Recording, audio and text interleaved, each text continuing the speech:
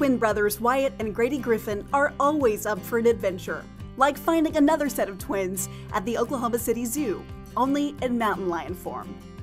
Hello? We're identical twins. Hello? Just, just like you and your brother.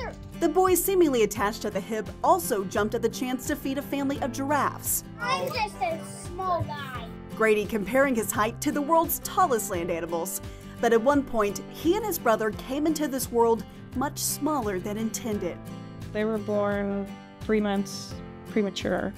So when they're born that early, they can't produce enough blood for themselves. Their parents, Joy and Clayton, reflecting back to May of 2017, when both Wyatt and Grady were born weighing less than three pounds.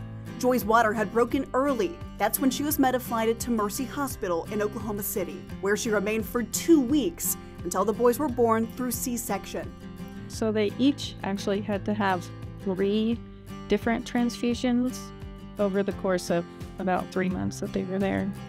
And just like their mom, they both have O negative blood, the universal blood type, meaning they can only be transfused with O negative.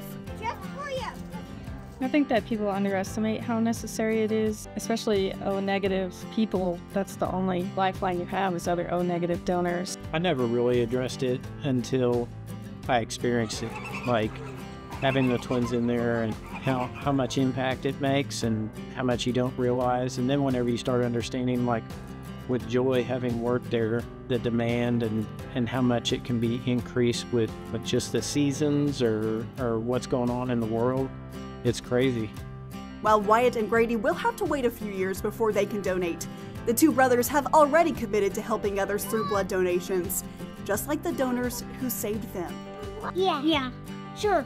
I'll give it to someone who doesn't really have so much O negative blood.